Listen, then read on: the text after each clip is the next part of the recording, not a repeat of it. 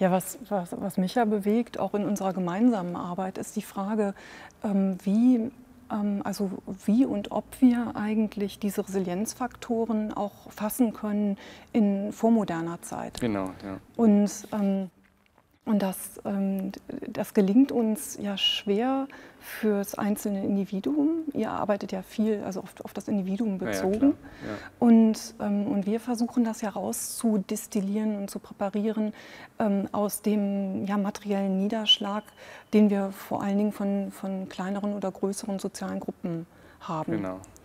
Und, ähm, und da sehen wir, dass, dass bestimmte Dinge, die auch heute noch eine Rolle spielen, wie soziale Identität, soziale Eingebundenheit, Kohärenzgefühl, dass das also offenbar auch was ist, was uns über ganz lange Zeiträume schon begleitet. Ja, das finde ich äh, sowieso spannend, also weil der soziale Zusammenhalt, also soziale Zugehörigkeit ein ganz wichtiger Resilienzfaktor ist. Also die, auch heute, also die Menschen, die einfach sagen können, in ganz schwierigen Zeiten kann ich mich auf so und so viele Personen verlassen, die sind resilienter, die kommen leichter durch Krisen durch, als die, die sagen, ja, uh, wenn es mir mal richtig schlecht geht, da habe ich praktisch niemand, auf den ich um Rat fragen kann oder der mich mal unterstützt. Ja.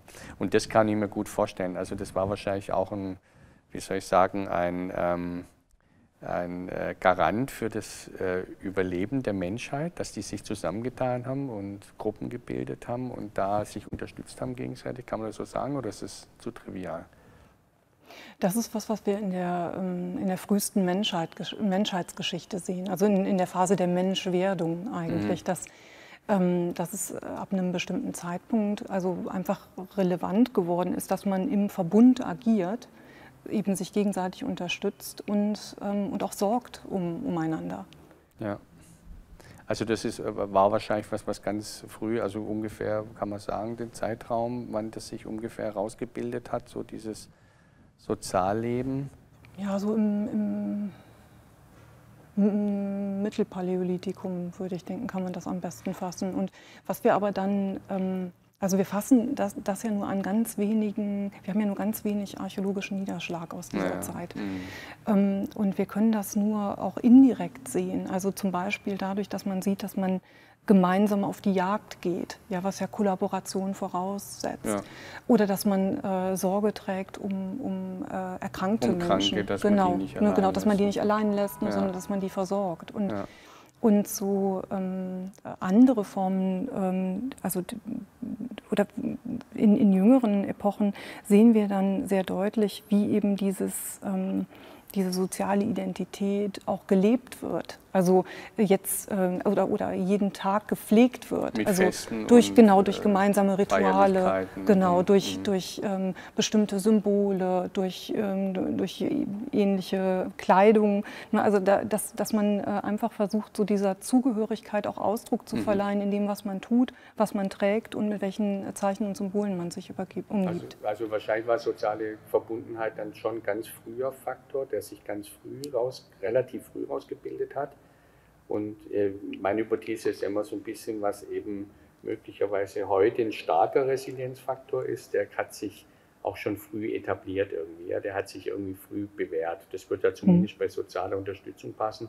Gibt es noch andere Beispiele? Ich glaube, so Spiritualität, Religion, das war aber dann später, oder? Genau, da sind wir schon äh, genau im, im Jungpaläolithikum so um 40, 40.000 vor. Da hat sich das erst mhm. äh, etabliert. Ja. ja, und was wir, ähm, was aber wichtig ist, also wir können an der Stelle, wo wir ähm, in der Archäologie ähm, Hinweise zum Beispiel auf, auf Kollaboration, auf Spiritualität fassen können, nicht sagen, dass es als Resilienzfaktor gewirkt hat, mhm. sondern wir können nur dieses Verhalten fassen. Ja. Mhm. Ähm, aber dadurch, dass wir nicht sagen können, wie eigentlich die Situation war, in der dieses Verhalten mhm. ähm, zum Einsatz kam, also dürfen wir das an der Stelle noch nicht als Resilienzfaktor bezeichnen. Mhm.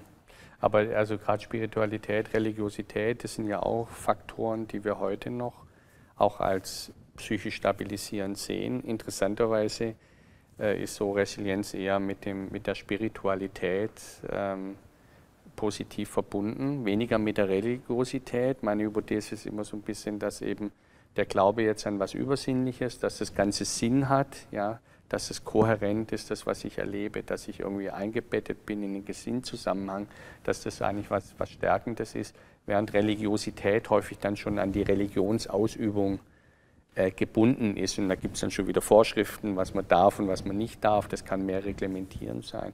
Und so passt es ein bisschen, dass eigentlich Spiritualität eher als Resilienzfaktor noch stärkere Effekte hat heute als Religiosität.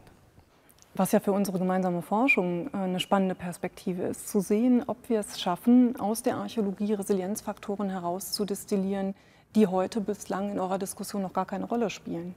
Das wäre natürlich sehr wünschenswert. Wir haben natürlich schon ein ganzes Set an hauptsächlich psychologischen äh, Faktoren, aber wir sind natürlich auch eingeengt auf unsere Sichtweise, die wir heute haben. Ja, wir haben bestimmte Forschungstraditionen, Forschungssichtweisen und über diesen Blick zurück in archäologisches äh, Material dann was ganz Neues zu finden. Das ist das, was wir hoffen und was uns weiter auch inspiriert, hier zusammenzuarbeiten. Genau.